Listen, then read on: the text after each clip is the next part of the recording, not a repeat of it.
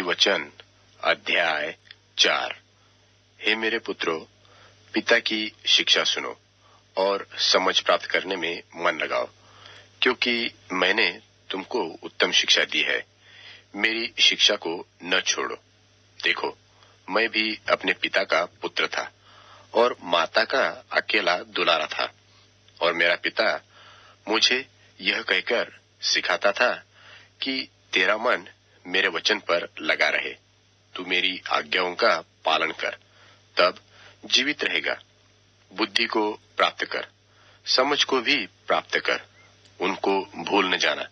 न मेरी बातों को छोड़ना। बुद्धि को न छोड़। वह तेरी रक्षा करेगी। उससे प्रीति रख। वह तेरा पहरा देगी। बुद्धि श्रेष्ठ है। इसलिए उसकी प्राप्ति के लिए यत्न कर।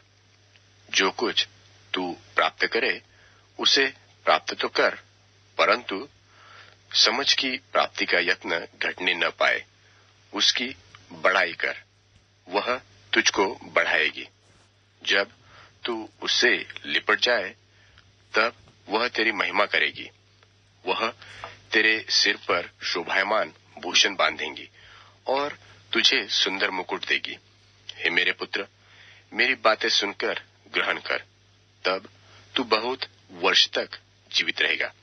मैंने तुझे बुद्धि का मार्ग बताया है और सीधाई के पथ पर चलाया है। चलने में तुझे रोक टोक न होगी और चाहे तू दौड़े तो भी ठोकर न खाएगा। शिक्षा को पकड़े रह, उसे छोड़ न दे, उसकी रक्षा कर, क्योंकि वही तेरा जीवन है। दुष्टों की बाट में पाव न धरना और न बुरे लोगों के मार्ग पर चलना।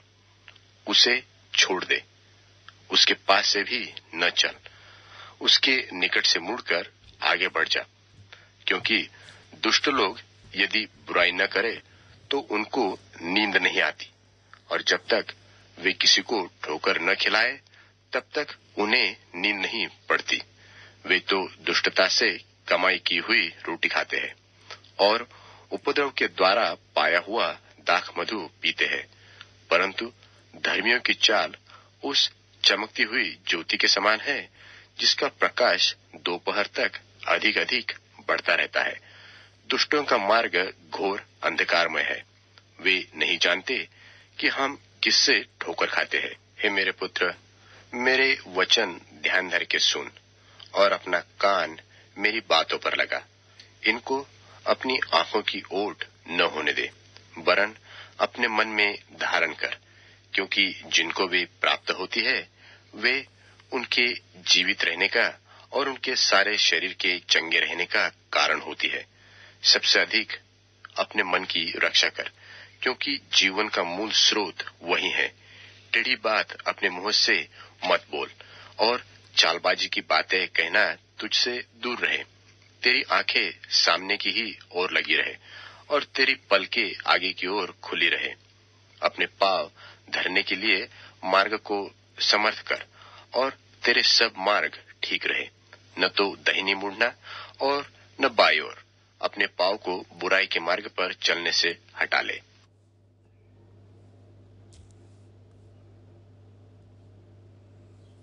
वचन अध्याय चार।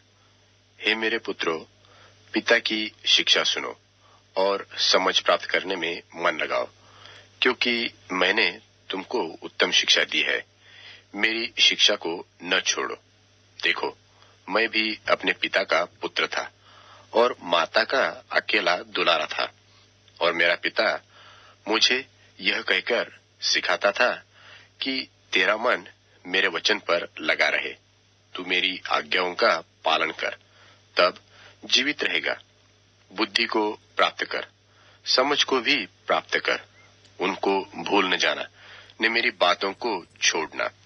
बुद्धि को न छोड़, वह तेरी रक्षा करेगी। उससे प्रीति रख, वह तेरा पहरा देगी। बुद्धि श्रेष्ठ है, इसलिए उसकी प्राप्ति के लिए यत्न कर।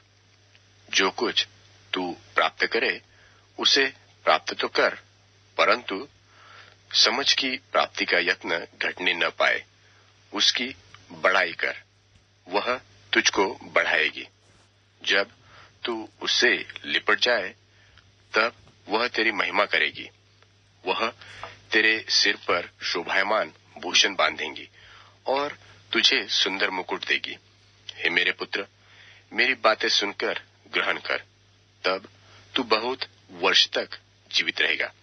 मैंने तुझे बुद्धि का मार्ग बताया है और सीधाई के पथ पर चलाया है। चलने में तुझे रोक टोक न होगी और चाहे तू दौड़े तो भी ठोकर न खाएगा। शिक्षा को पकड़े रह, उसे छोड़ न दे, उसकी रक्षा कर, क्योंकि वही तेरा जीवन है।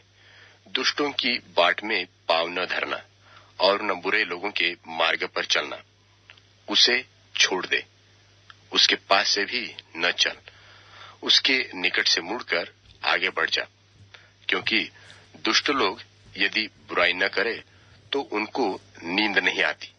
और जब तक वे किसी को ठोकर न खिलाए, तब तक उन्हें नींद नहीं पड़ती। वे तो दुष्टता से कमाई की हुई रोटी खाते हैं और उपद्रव के द्वारा पाया हुआ दाख मधु पीते हैं।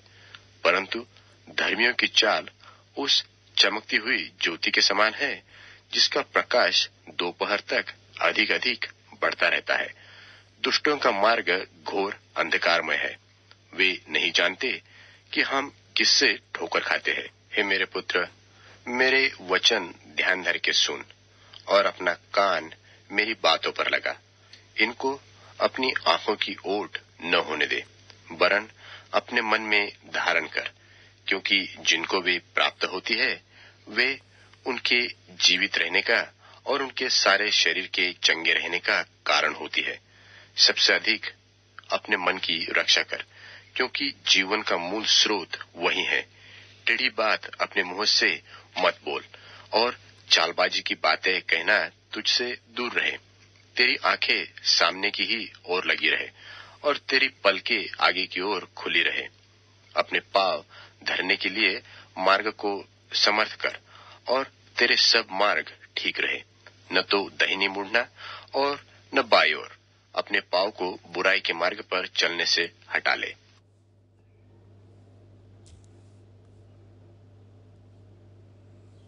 वचन अध्याय चार।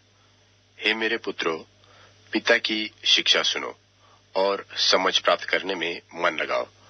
क्योंकि मैंने तुमको उत्तम शिक्षा दी है। मेरी शिक्षा को न छोड़ो। देखो, मैं भी अपने पिता का पुत्र था और माता का अकेला दुलारा था। और मेरा पिता मुझे यह कहकर सिखाता था कि तेरा मन मेरे वचन पर लगा रहे। तू मेरी आज्ञाओं का पालन कर, तब जीवित रहेगा। बुद्धि को प्राप्त कर, समझ को भी प्राप्त कर। उनको भूल न जाना, न मेरी बातों को छोड़ना। बुद्धि को न छोड़, वह तेरी रक्षा करेगी। उससे प्रीति रख, वह तेरा पहरा देगी। बुद्धि श्रेष्ठ है, इसलिए उसकी प्राप्ति के लिए यत्न कर। जो कुछ तू प्राप्त करे, उसे प्राप्त तो कर, परंतु समझ की प्राप्ति का यत्न घटने न पाए, उसकी बड़ाई कर। वह तुझको बढ़ाएगी। जब तू उससे लिपट जाए, तब वह तेरी महिमा करेगी।